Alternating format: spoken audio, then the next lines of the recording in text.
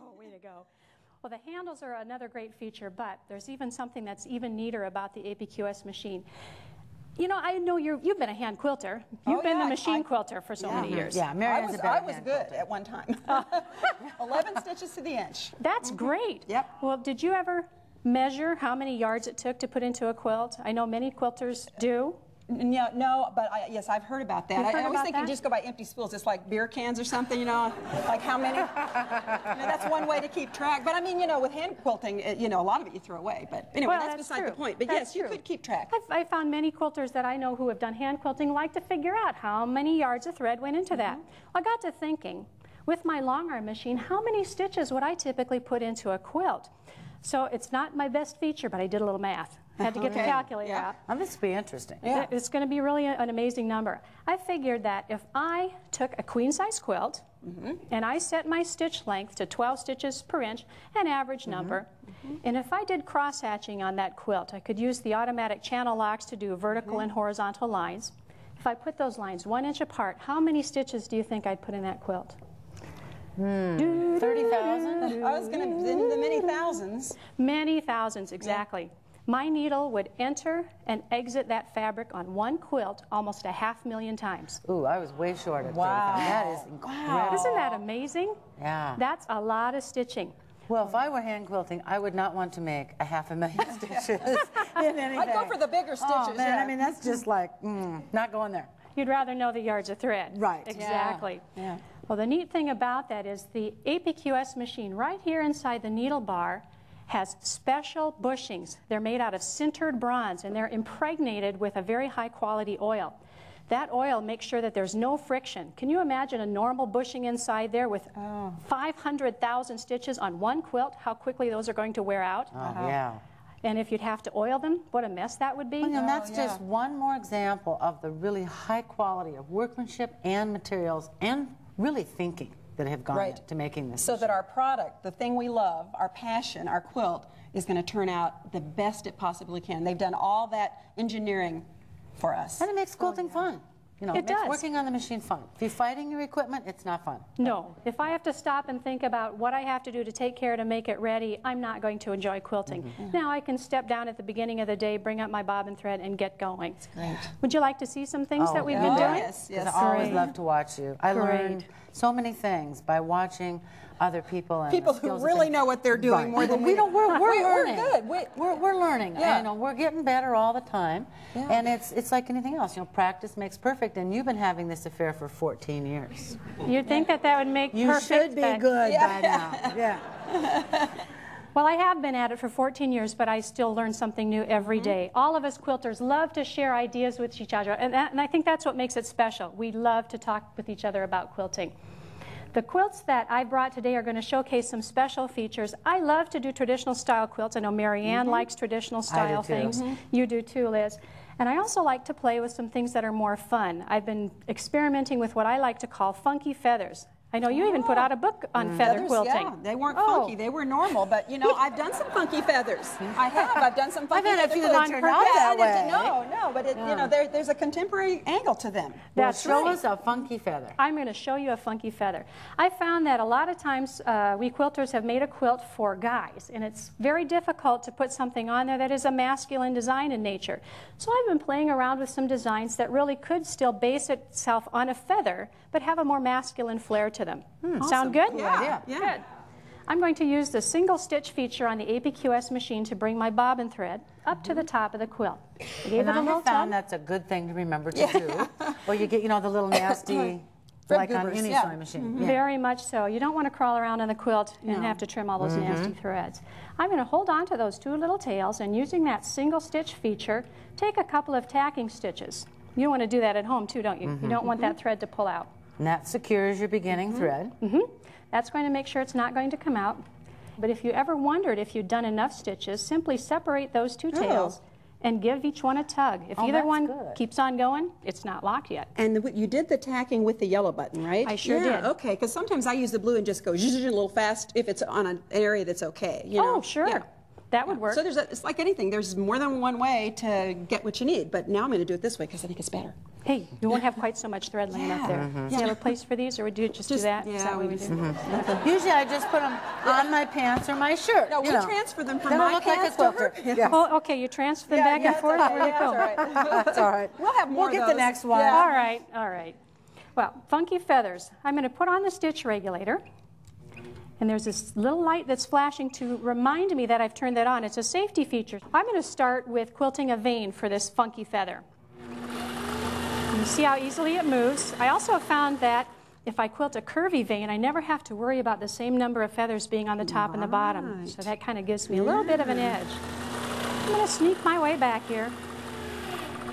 This first one that I'm going to show you I call a machete feather.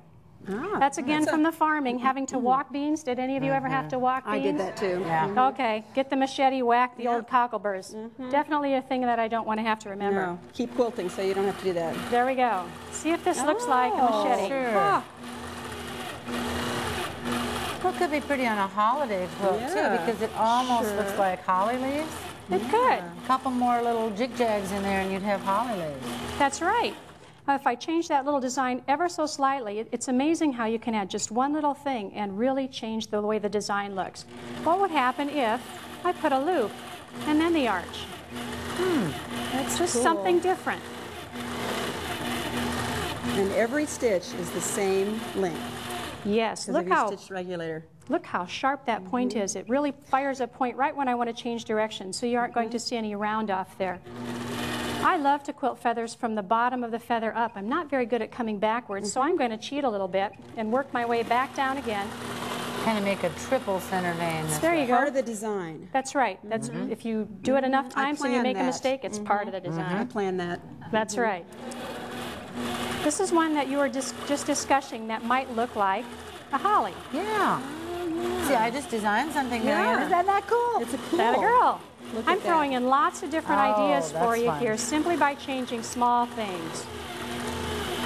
You know, I think one of the things is, at at first, your reaction is that it might be easiest to follow a pattern. Oh, yeah. But mm-hmm. actually, freehand quilting is is really, in some ways, much easier Yeah. than it is to try to follow a design. I think so. I love to do freehand designs, but you can also control the mm-hmm. machine if you really want to Right. follow a pattern. There are many ways that Yeah, you But can you have to control it to do freehand Yeah, designs yeah, well, too. But, but trying to hit a line, and then you know the great thing about I think about freehand is you're not marking anything. You know, it's No. just that that you know nobody, no quilter gets up in the morning and think, oh boy, today I'm going to mark my quilting designs. You know, Yeah, and testing it all and all that mm-hmm. stuff. So Oh, that, that's that's exactly. one of to me that is another free freedom. Of freehand is that you don't that there's so many ways you can get the design on there and you get right to it. You do. I think that's the problem with marking. It's like you're already your top is done, Mm-hmm. and then you have this delayed pleasure because you have to mark all this stuff. So, I mean, this you get right on it. You do. You have the freedom to create, and uh, as I said before, if I happen to make a mistake, oh, let's say, shoot, I put three loops on that little Now guy. variation. That's right. If I just do a couple of more with three loops, well, heck, It's like he belongs. he looks like he belongs. Exactly. Well, these funky feathers can have some things that go on in between them. We can have fun with some hooks, adding some duplications. I'm going to add a little more vein line here, sneak my way back down. Maybe I want to do something on the inside of that feather. Oh, I like this design. Notice that I can really take my time and stop exactly where I want to with that stitch regulator turned You know, and I think that's something that you find when you're first get started. You, you can remember with the stitch regulator, you can stop and Yeah. think. Well, and if I did want to take that pause, if I definitely had to, the kids were hollering, please make a supper or we're going to yeah, faint. yeah. I can cancel that automatic stitch regulator and drop the needle down so that it keeps me in Mm-hmm. position. When I come back on and turn it on again, it'll start off exactly where I ended. Good tip. Yeah. Very good tip. Are there some quilts that you'd like to see? I brought some along. love to yes, see your please work. show us your work. I brought two with me today. Both of them show traditional style feathers as well as some funky feathers. The quilt that you see that's yellow and white was designed for a family, a mother of six, whose sister died, and she took in her sister's six children. Oh, so Getting the house was built for a family of 12. So I call that yellow quilt family nucleus. You'll find that the star in the center represents the family together and the small stars and larger stars around it.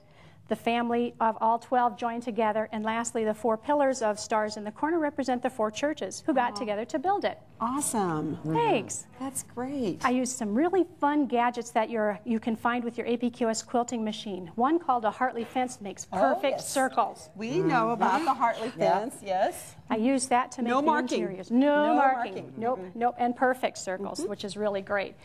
From that, I drew on some stem lines and created some uh, regular feathers, and use the same ruler that you mentioned, Marianne, mm-hmm. to quilt straight guide, lines. Mhm. Then another quilt that I brought along for you to see was made by Sharon Meisenheimer, a quilter in Johnston, Iowa. And Sharon made that pattern from a, a Pat Campbell design. Yes, Jacobean Beautiful. applique. Jacobean yes. applique, mm-hmm. exactly. Well, her setting left lots of open space in between, and I had a blast quilting all sorts of designs like these funky feathers inside those quilting areas. And the great thing is with those adjustable handles, I could get control and get in and out of every Those single tight bit of those spaces. applique petals. Oh, yes. Without stitching on them. Without stitching on them, exactly. Wow. It's one of those things that you find that the inspiration strikes you and you can have a great time. I think we should applaud her quilts. They're beautiful. Yay!